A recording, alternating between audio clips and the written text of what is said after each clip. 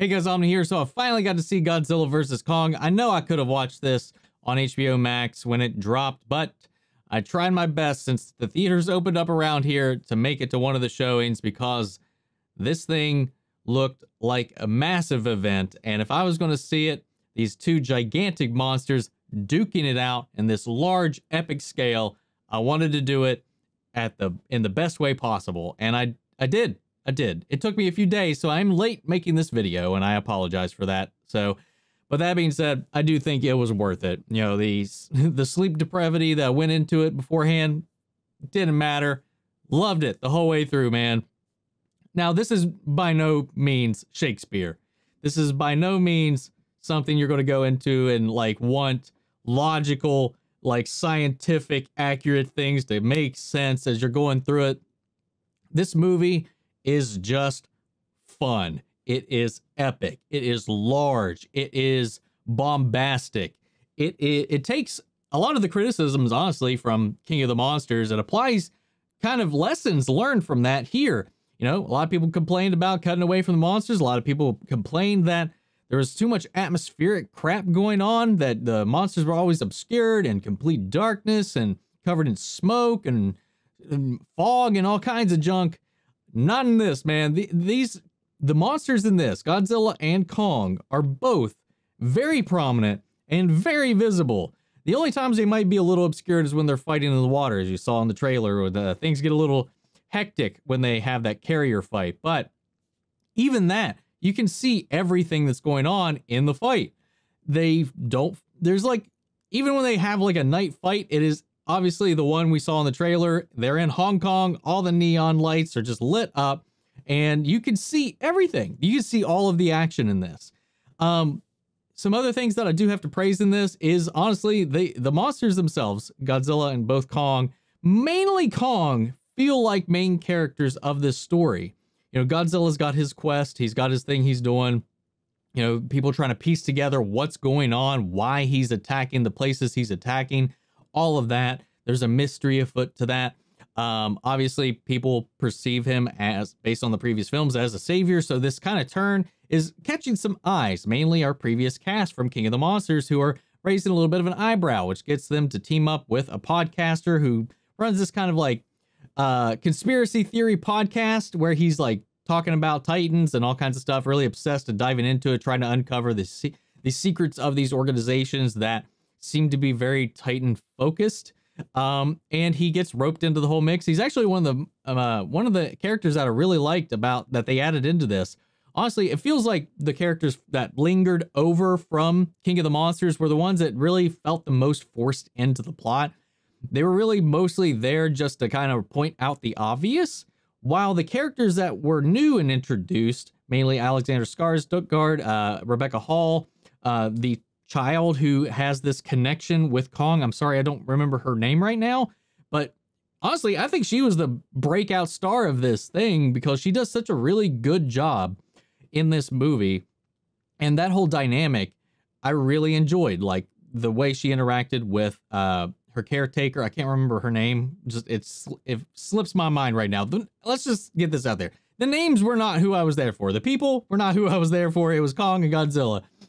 And this movie really, as we saw kind of from the trailers, is very much Kong's movie for the most part. He's the character we're following the most. He's kind this is kind of like his journey, which is really interesting. He's kind of the main character when if you think about it, the way it's kind of set up and framed, and it make it gives you this really interesting perspective and dynamic through this whole thing.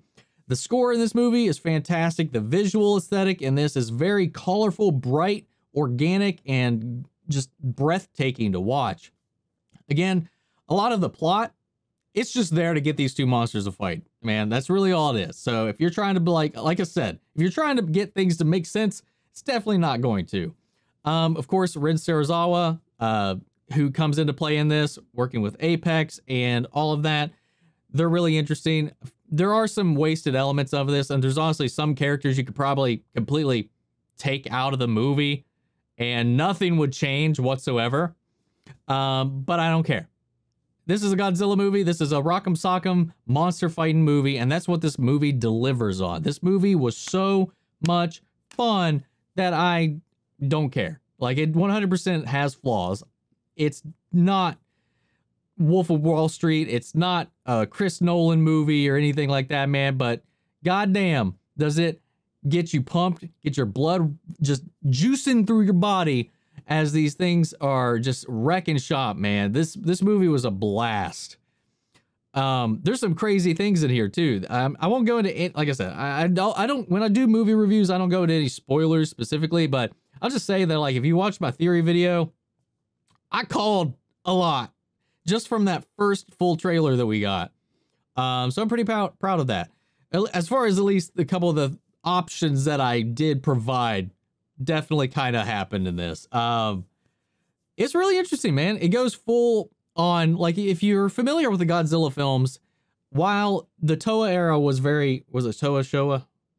It was very lighthearted. Like the era where he was definitely like goofy, lighter, and it was more like he was definitely the hero. And then you have the follow-up, the Heisei era, where it was more back to form, where he's more chaotic neutral. He's really a destructive force of nature that comes about. Uh, this strikes a brilliant balance of the two and makes both Godzilla and Kong, in their own respective ways, heroes of this story. So it makes it really interesting to see who exactly you're rooting for as you're going through the film. Man, I, I really like this. I definitely want to go back and give it another go, another round. I mean, I could do it from home right now while it's on HBO Max, and I might do that as well, just to see if the, how the experience kind of translates like that. Because I, uh, you know, seeing it on the huge screen with the booming surround sound and all that was just it was exhilarating, man. I really, I really did love this film. It was definitely an event film that they definitely set up. Um, and I, I didn't want to miss it at theaters, and that's one of the reasons that this review is delayed. But I had a lot of fun. Um, so yeah, if you were interested in this, I highly recommend it. Right now, and it may just be the high of this. This might be my favorite of the MonsterVerse films. Um, is it overall the best well structured of them? Maybe not. Is it the least flawed? Maybe not, but it was definitely the most enjoyable one that I've watched. Uh, and I love Godzilla, man.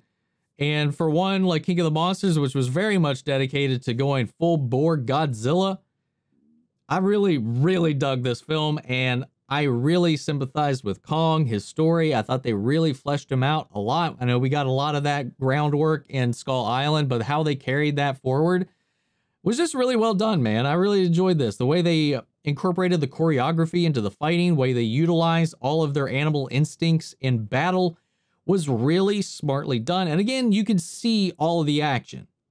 And that's one thing I gotta praise about this, man. You you can see distinct personalities and tactics in the way that they fight, the way that they operate, and it's it's just it's just fun, man. Oh my god, I can't praise this movie enough. But yeah, if you've seen it, let me know your thoughts in the comments down below so we can carry on the conversation after the video. Thank you guys so much for tuning in. As always, huge shout out to my patron legends, Mandy Sherritt, Antoine Rodriguez, and Ryan Karen. You guys, thank you so much for your support and everybody else who's been joining the Patreon over there. I love you guys. Everybody, you make this worth it. anyway, guys, that is it for now, and I will catch you guys in the next video. Take care, everybody.